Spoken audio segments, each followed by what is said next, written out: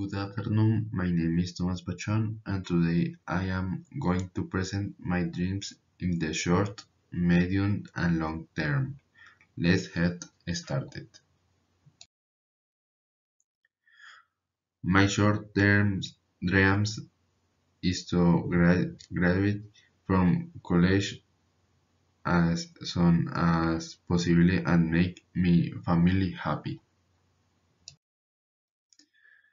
My medium-term dreams is to study a good university and become independent from my parents' house.